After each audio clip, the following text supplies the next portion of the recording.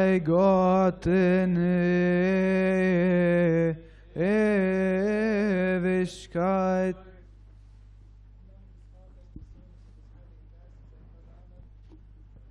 Was für einen fröhlichen Tag. Fest des heiligen Apostels Markus, der Gründer unserer koptischen Kirche, der Evangelist und der Apostel. Und ja, diese tolle Gemeinschaft in dieser heutigen Liturgie mit euch und auch vor allem mit Abuna Bigol und Abuna Abraham. Abuna Bigol und Abuna Abraham sind einfach, sie bestehen vollkommen hundertprozentig aus Liebe, die geht auf zwei äh, Beinen. Äh, Diese Liebe ist wirklich großartig und diese Liebe ist die einzige Garantie, die diese eure Gemeinde auch in Frieden immer bewahren kann. Äh, bewahrt diese Liebe untereinander. Äh, ich rede zwei, drei Minuten über den heiligen Apostel Markus. Das ist sein Fest und ja, also wir müssen äh, so über ihn oder von ihm etwas reden. Äh, er hat uns im Glauben an Jesus Christus geboren. Also er gilt als unser aller Vater, ist der Vater der Kopten in der ganzen Welt. Ich erinnere mich, als wir einmal in einem Ausflug mit der Kirche in Venedig waren und dort gibt es seine Reliquien und dort muss man ein Ticket kaufen, damit man diese Reliquien besuchen kann. Und dann war ich so irgendwie außer äh, mich.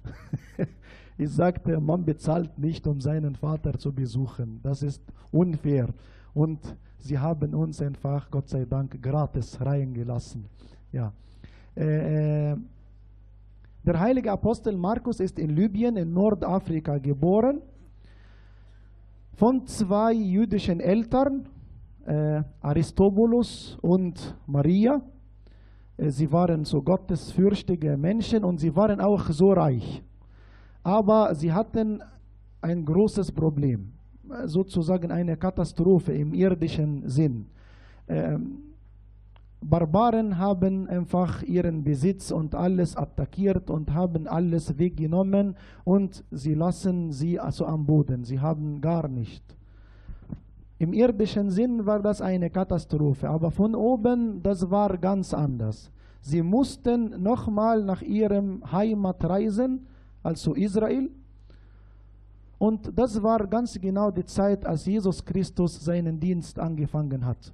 Und dann kam Markus, der damals ein junger Mann war, mit Jesus Christus in Kontakt gekommen. Jesus Christus zum ersten Mal gehört und alles mitgefolgt. Er schrieb auch selber in seinem Evangelium, als Jesus im Gethsemane festgenommen war, die Soldaten damals versuchten, einen jungen Mann äh, äh, als Gefangenen zu nehmen, dann äh, ist er weggeflohen und alle äh, Bibel Ausleger oder so sagen, das war er. Also er ist der Einzige, der diese Geschichte erwähnt hat. Also er redete von sich selbst, aber ohne seinen Namen zu erwähnen.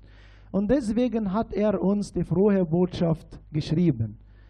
Äh, die Bibelwissenschaftler sind auch einig, dass das Evangelium nach dem Apostel Markus ist der älteste unter allen vier Evangelien.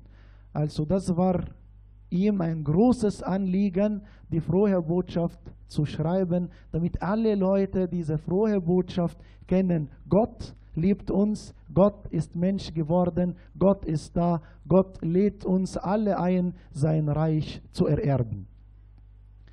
Nicht nur das, also er hat in vielen Ländern verkündigt, nicht nur bei uns in Ägypten, er hat auch in Libyen äh, sein Geburtsland sozusagen.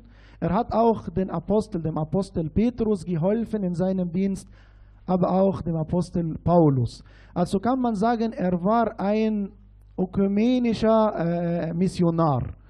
Äh, in Rom hat er missioniert, in Kleinasien hat er missioniert, in Libyen, in Ägypten.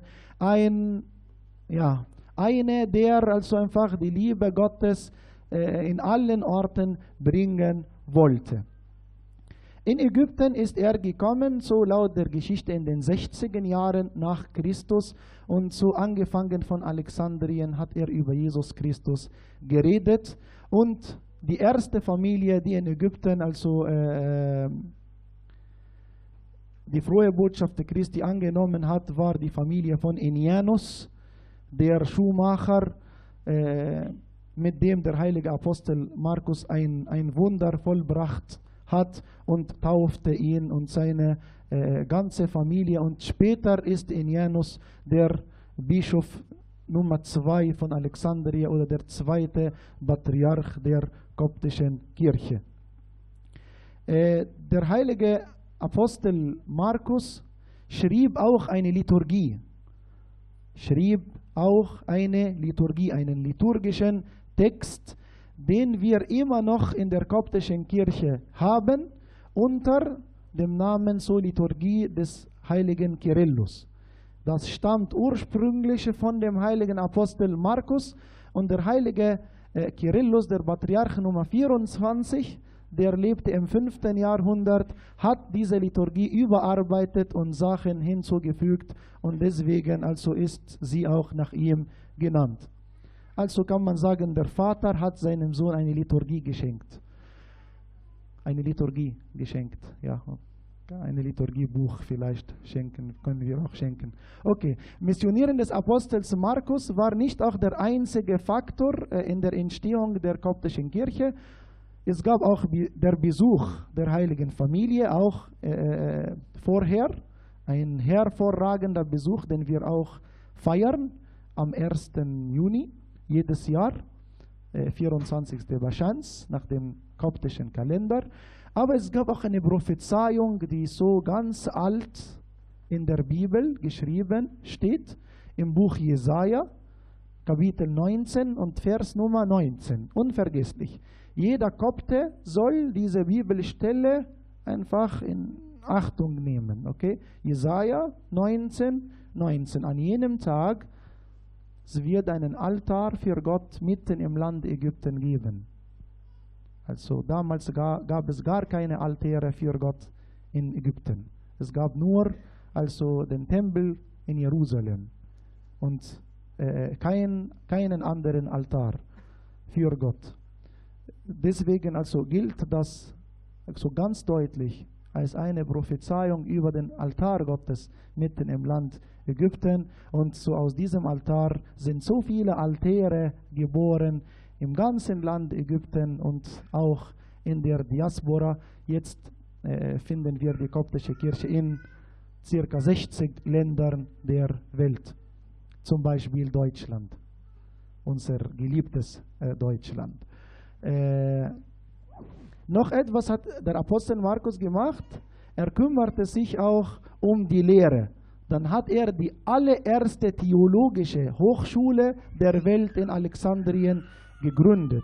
Und die Absolventen dieser Schule haben sehr geholfen bei der Verteidigung, aber auch äh, äh Erklärung des Glaubens. Zum Beispiel der heilige Athanasius, der Große, der heilige Kyrillus Origen, Clemens von Alexandrien, Bentinus, der auch äh, die Heilige Schrift in die koptische Sprache übersetzt hat. Sie gelten alle als Absolventen und Dekanen auch der, dieser theologischen Schule in Alexandrien. Hat er auch äh, Inianus als Bischof äh, geweiht, hat er drei Priester geweiht, als er nach Rom reisen wollte, aber auch sieben Diakone und sieben Diakone nach dem Beispiel, den er gesehen hat auch und der im Buch Apostelgeschichte äh, beschrieben, also als die Apostel die sieben Diakone auch geweiht. Kann man sagen, der heilige Apostel Markus war jemand, der eine Vision hatte und der so alles, also Evangelium, Liturgie, äh, äh, äh Bischof, Priester und Diakone, aber auch theologische Schule hat alle Säulen für eine starke Kirche in Ägypten gelegt. Und wir, Gott sei Dank, dass die koptische Kirche also immer noch den Namen Jesu Christi im Land des Nils äh, äh, äh, preisen kann und preisen darf. Und das gilt laut äh, Sayyidina Anbadamian äh, als ein, äh, ein Weltwunder, ein, ein achtes Weltwunder. Äh, möge Gott uns alle in diesem heutigen Tag segnen durch seine Fürsprache. Und äh, ich freue mich sehr auf jeden Markus und auf jeden Mark und ich sage ihm also alles Gute zum Namenstag. Ehre sei unser Gott in alle Ewigkeit. Amen.